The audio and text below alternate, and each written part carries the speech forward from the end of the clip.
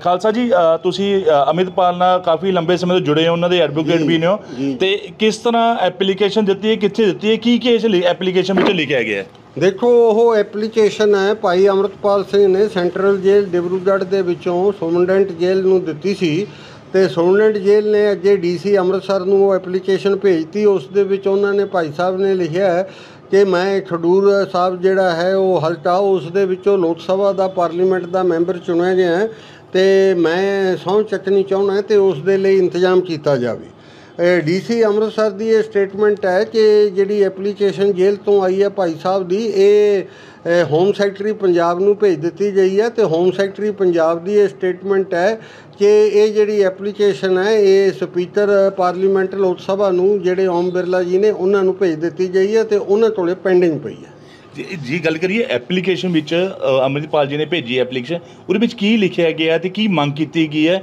ਕਿਸ ਤਰ੍ਹਾਂ ਇਹ ਸਹੁੰ ਚੱਕ ਸਮਾਗਮ ਰੱਖਿਆ ਜਾਵੇ? ਦੇਖੋ ਬਰੀਫ ਹੈ ਉਹਦੇ ਵਿੱਚ ਜਿਹੜੀ ਇਹ ਸੰਖੇਪ ਹੈ ਉਸ ਦੇ ਵਿੱਚ ਲਿਖਿਆ ਵੀ ਮੈਂ ਲੋਕ ਸਭਾ ਦਾ ਮੈਂਬਰ ਚੁਣਿਆ ਗਿਆ ਠਡੂਰ ਸਾਹਿਬ ਤੋਂ ਇਸ ਲਈ ਜਿਹੜਾ ਮੈਂਡੇਟਰੀ ਪ੍ਰੋਵੀਜ਼ਨ ਹੈ ਉਹਦੇ ਥੱਲੇ ਮੈਨੂੰ ਜਿਹੜੀ ਹੈ ਸਹੁੰ ਚੱਕਣ ਨੂੰ ਮੈਂ ਤਿਆਰ ਹਾਂ ਸਹੁੰ ਚੱਕਣ ਦਾ ਮੇਰਾ ਜਿਹੜਾ ਉਹ ਬੰਦੋਬਸਤ ਕੀਤਾ ਜਾਵੇ ਖਾਲਸਾ ਜੀ, ਜੇ ਗੱਲ ਕਰੀਏ ਇਹ ਕਿਸ ਤਰ੍ਹਾਂ ਸਮਾਗਮ ਰੱਖਿਆ ਜਾ ਸਕਦਾ ਹੈ? ਵੀਡੀਓ ਕਾਨਫਰੈਂਸਿੰਗ ਦੇ ਥਰੂ ਜਾਂ ਉਹਨਾਂ ਨੂੰ ਉੱਥੇ ਲੋਕ ਲੋਕ ਸਭਾ ਲਿਆਇਆ ਜਾ, ਲਿਆਉਣ ਦੀ ਗੱਲ ਕੀਤੀ ਗਈ ਹੈ? ਦੇਖੋ ਵੀਡੀਓ ਕਾਨਫਰੰਸ ਐਬਸੋਲੂਟਲੀ ਬਿਲਕੁਲ ਨਹੀਂ ਹੋ ਸਕਦੀ। ਨਾ ਵੀਡੀਓ ਕਾਨਫਰੰਸ ਹੋ ਸਕਦੀ ਹੈ, ਨਾ ਸਟੂਡੈਂਟ ਜਿਹੜਾ ਹੈ ਜਾਂ ਉੱਥੇ ਦਿਲਾ ਸਕਦਾ ਨਾ ਆਨਲਾਈਨ ਹੋ ਸਕਦੀ ਹੈ। ਜਿਹੜੀ ਇੱਕ ਮੈਂਬਰ ਪਾਰਲੀਮੈਂਟ ਜਾਂ ਲੋਕ ਸਭਾ ਵੱਲੋਂ ਜਿਹੜੀ ਸਹੁੰ ਚੱਕਣੀ ਹੈ, ਉਹ ਸਿਰਫ ਤੇ ਸਿਰਫ ਪਾਰਲੀਮੈਂਟ ਹਾਊਸ ਵਿੱਚ ਚੱਕੀ ਜਾਊਗੀ। ਤੇ ਸਪੀਕਰ ਲੋਕ ਸਭਾ ਉਸ ਨੂੰ ਚਟਾਉਣ ਦੇ ਲਈ ਜਿਹੜੇ ਨੇ ਉਹ ਮਤਲਬ ਅਥਾਰਟੀ ਰੱਖਦੇ ਆ ਹੋਰ ਕੋਈ ਅਧਿਕਾਰੀ ਉਸ ਦੇ ਵਿੱਚ ਨਹੀਂ ਉਸ ਉਹਨਾਂ ਨੂੰ ਸਹੁੰ ਚਟਾ ਸਕਦਾ ਨਾ ਤਾਂ ਸਥਾਨ ਬਦਲਿਆ ਜਾ ਸਕਦਾ। ਸਥਾਨ ਜਿਹੜਾ ਹੋਊਗਾ ਉਹ ਪਾਰਲੀਮੈਂਟ ਹਾਊਸ ਦਿੱਲੀ ਹੈ ਤੇ ਅਧਿਕਾਰੀ ਨਹੀਂ ਬਦਲਿਆ ਜਾ ਸਕਦਾ ਤੇ ਅਧਿਕਾਰੀ ਸਪੀਕਰ ਲੋਕ ਸਭਾ ਨੇ। ਕਿਸ ਤਰ੍ਹਾਂ ਫਿਰ, ਤੁਹਾਨੂੰ ਲੱਗਦਾ ਕਿ ਕਿਸ ਤਰ੍ਹਾਂ ਜਿਵੇਂ ਤੁਸੀਂ ਉਹਨਾਂ ਦੀ ਜ਼ਮਾਨਤ ਦੀ ਵੀ ਗੱਲ ਕੀਤੀ ਸੀ ਮਤਲਬ ਕਿ ਸਮਾਂ ਵੀ ਮੰਗਿਆ ਸੀ ਕਿਸ ਤਰ੍ਹਾਂ ਸਮਾਂ ਚਾਹੁੰਦੇ ਹੋ ਕਿ ਕਿਸ ਤਰ੍ਹਾਂ ਲਿਆਇਆ ਜਾਵੇ ਤੇ ਕਿਸ ਤਰ੍ਹਾਂ ਉਹ ਇਸ ਸਮਾਏ ਸਹੁੰ ਚੱਕ ਸਮਾਗਮ ਕੀਤਾ ਜਾਵੇ? ਨਹੀਂ ਜ਼ਮਾਨਤ ਦਾ ਤਾਂ ਦੇਖੋ ਕੋਈ ਪ੍ਰੋਵੀਜ਼ਨ ਨਹੀਂ ਹੈ ਜਿਹੜਾ ਇਸ ਦੇ ਵਿੱਚ ਐਨਐਸਏ ਦੇ ਵਿੱਚ। ਉਹਨਾਂ ਦੀ ਟੈਂਪਰੇਰੀ ਜਿਹੜੀ ਸੀ ਜੀ ਉਹ ਰਿਲੀਜ਼ ਮੰਜੀ ਸੀ ਜਿਹੜੀ ਅ, ਜਿਨ੍ਹਾਂ ਨੂੰ ਅਸਥਾਈ ਜਿਹੜੀ ਹੈਗੀ ਆ ਉਹ ਰਿਹਾਈ ਕਹਿੰਦੇ ਆ ਉਹ, ਤੇ ਪੈਰੋਲ ਦੀ ਸ਼ੇਪ 'ਚ ਦਿੱਤੀ ਜਾ ਸਕਦੀ ਹੈ। ਅਸੀਂ ਤਾਂ ਇਹੀ ਚਾਹੁੰਦੇ ਹਾਂ ਕਿ ਉਹਨਾਂ ਨੂੰ ਖੁੱਲੇ ਤੌਰ ਤੇ ਜਿਹੜਾ ਹੈਗਾ ਉਹ ਸਹੁੰ ਚੱਕਣ ਦੀ ਇਜਾਜ਼ਤ ਦਿੱਤੀ ਜਾਵੇ। ਉਹ 4 ਲੱਖ ਤੋਂ ਵੱਧ ਲੋਕਾਂ ਦੇ ਜਿਹੜੇ ਆ ਨੁਮਾਇੰਦੇ ਨੇ 2 ਲੱਖ ਤੋਂ ਵੱਧ ਵੋਟਾਂ ਨਾਲ ਚੋਣ ਜਿੱਤੇ ਨੇ ਤੇ ਉਹ ਜਾਣ ਤੇ ਉੱਥੇ ਸਹੁੰ ਚੱਕਣ ਤੇ ਇਸ ਤਰ੍ਹਾਂ ਦੇ ਨਾਲ ਉਹਨਾਂ ਨੂੰ ਜਿਹੜਾ ਹੈ, ਮ- ਉਸ ਦੇ ਵਿੱਚ ਨਜ਼ਰਬੰਦੀ ਦੇ ਦੌਰਾਨ ਲਿਆਂਦਾ ਜਾਵੇ, ਨਜ਼ਰਬੰਦ ਕਰਕੇ ਲਿਆਂਦਾ ਜਾਵੇ ਤੇ ਗੁਪਤ ਤੌਰ ਤੇ ਲਿਆਂਦਾ ਜਾਵੇ, ਸੀਕ੍ਰੇਟਲੀ ਉਹਨਾਂ ਨੂੰ ਜਿਹੜੀ ਆ ਉਹ ਚੈਂਬਰ ਦੇ ਵਿੱਚ ਸਹੁੰ ਚੁਕਾਈ ਜਾਵੇ, ਕਿਸੇ ਨੂੰ ਦੱਸਿਆ ਨਾ ਜਾਵੇ ਤੇ ਇੰਨੇ ਲੋਕਾਂ ਦੇ ਪ੍ਰਤੀਨਿਧ ਲੋਕ ਰਾਜ ਨੇ ਫਤਵਾ ਦਿੱਤਾ ਹੈ ਤੇ ਜਨ ਆਦੇਸ਼ ਦਿੱਤਾ ਹੈ, ਉਹ ਫਤਵੇ ਦਾ ਕਤਲ ਕਰਕੇ, ਲੋਕਤੰਤਰ ਦੀਆਂ ਪਰੰਪਰਾਵਾਂ ਦਾ ਕਤਲ ਕਰਕੇ ਉਹਨਾਂ ਨੂੰ ਗੁਪਤ ਤਰੀਕੇ ਨਾਲ ਸਹੁੰ ਚੁਕਾਈ ਜਾਵੇ, ਇਸ ਨਾਲ ਅਸੀਂ ਰਜਾਮੰਦ ਨਹੀਂ ਹਾਂ। ਲੱਗਦਾ ਕਿ ਜਿਸ ਜਦੋਂ ਉਹਨਾਂ ਨੂੰ ਲਿਆਇਆ ਜਾਊਗਾ, ਇੱਕ ਤਰ੍ਹਾਂ ਗੁਪਤ ਤਰੀਕੇ ਨਾਲ ਲਿਆਇਆ ਜਾਊਗਾ, ਸੁ- ਸੁਰੱਖਿਆ ਦੇ ਵਿੱਚ ਲਿਆਂਦਾ ਜਾਊਗਾ। ਤੁਸੀਂ ਚਾਹੁੰਦੇ ਹੋ ਕਿ ਉਹ ਮੀਡੀਆ ਵੀ ਮੀਡੀਆ ਸਾਹਮਣੇ ਵੀ ਆਣ ਵੀਡੀਓਗ੍ਰਾਫੀ ਵੀ ਹੋਵੇ ਅਤੇ ਸਾਰੇ ਲੋਕਾਂ, ਉਹਨਾਂ ਦੇ ਜਿਹੜੇ ਵੋਟਰ ਨੇ, ਉਹਨਾਂ ਨੂੰ ਪਤਾ ਚੱਲੇ। ਦੇਖੋ, ਕੋਸ਼ਿਸ਼ ਉਹਨਾਂ ਦੀ ਇਹੀ ਚੱਲ ਰਹੀ ਹੈ ਵੀ ਦੋ ਤਰੀਕੇ ਨਾਲ ਲਿਆਂਦੇ ਜਾਣ।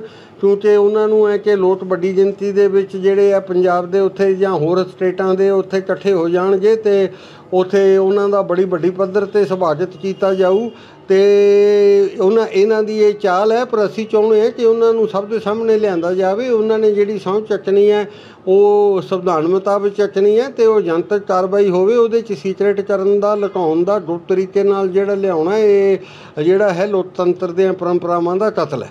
ਰਾਜੇ ਖਾਸੇ ਜੀ ਤੁਸੀਂ ਸੀਨੀਅਰ ਐਡਵੋਕੇਟ ਵੀ ਹੋ ਸਾਬਕਾ ਪਾਰਲੀਮੈਂਟ ਮੈਂਬਰ ਵੀ ਰਹੇ ਹੋ। ਅੱਗੇ ਵੀ ਕਦੀ ਇਸ ਤਰ੍ਹਾਂ ਦੇਖਿਆ ਕਿ ਇਸ ਤਰ੍ਹਾਂ ਜਿਹੜਾ ਬੰਦਾ ਜੇਲ੍ਹ 'ਚ ਹੋਵੇ ਤੈਨੂੰ ਸਹੁੰ ਚੁਕਾਉਣ ਵਾਸਤੇ ਲਿਆਂਦਾ ਗਿਆ ਹੋਵੇ, ਇੰਤਜ਼ਾਮ ਕੀਤਾ ਜਾਵੇ? ਜਦੋਂ ਮੈਂ ਇਲੈਕਟ ਹੋਇਆ, ਮੈਂ ਚੁਣਿਆ ਗਿਆ 1999 ਦੇ ਵਿੱਚ ਨੌਵੀਂ ਲੋਕ ਸਭਾ 'ਚ। ਉਸ ਸਮੇਂ ਮੇਰੇ ਨਾਲ ਦੋ ਮੈਂਬਰ ਸੀ, ਸਰਦਾਰ ਰਤਿੰਦਰਪਾਲ ਸਿੰਘ ਪਟਿਆਲੇ ਤੋਂ, ਬੀਬੀ ਬਿਮਲ ਕੌਰ ਖਾਲਸਾ ਰੋਪੜ ਤੋਂ।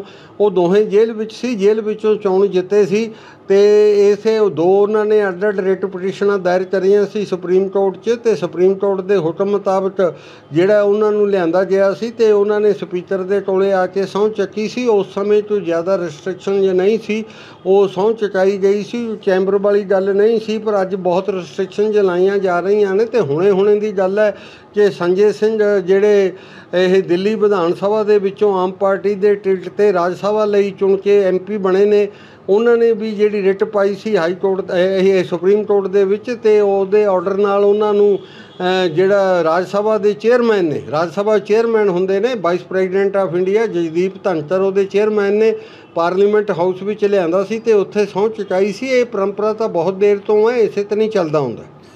ਤੁਸੀਂ ਚਾਹੋਗੇ ਜਿਵੇਂ ਹੋਰ ਸੰਸਦ ਸਹੁੰ ਚੱਕਣ ਸਮਾਗਮ ਵਿੱਚ ਪਹੁੰਚੇ ਨੇ, ਆਪਣੇ ਪਰਿਵਾਰ ਸਮੇਤ ਪਹੁੰਚੇ ਨੇ, ਜੇ ਅੰਮ੍ਰਿਤਪਾਲ ਵੀ ਆਣ ਤੇ ਉਹਨਾਂ ਦੇ ਪਰਿਵਾਰ ਨੂੰ ਵੀ ਉੱਥੇ ਬੁਲਾਇਆ ਜਾਵੇ, ਜਾਂ ਤੁਹਾਨੂੰ ਵੀ ਬੁਲਾ- ਤੁਸੀਂ ਵੀ ਉੱਥੇ ਹੋ? ਦੇਖੋ, ਮੇਰੇ ਜਾਣ ਚ ਤਾਂ ਉੱਥੇ ਡਿੱਕਾ ਹੀ ਨਹੀਂ ਹੈ। ਮੈਨੂੰ ਬੁਲਾਉਣ ਦਾ ਜਾਂ ਨਾ ਬੁਲਾਉਣ ਦਾ, ਮੈਂ ਤਾਂ ਪਾਰਲੀਮੈਂਟ ਵਿੱਚ ਰੋਜ਼ ਵੀ ਜਾ ਸਕਦਾ।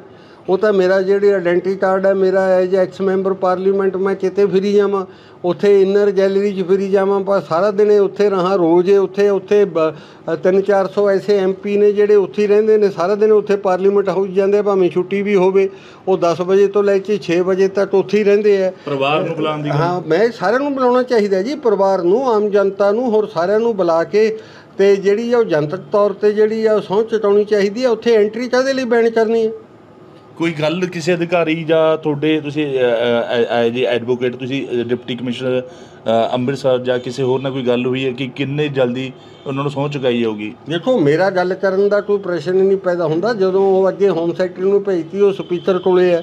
ਸੋ ਜਿਹੜਾ ਉਹਦੇ ਵਿੱਚ ਲਿਖਿਆ ਗਿਆ, ਉਹਦੇ ਮੁਤਾਬਕ ਅਗਲੀ ਕਾਰਵਾਈ ਕਰ ਰਹੇ ਆ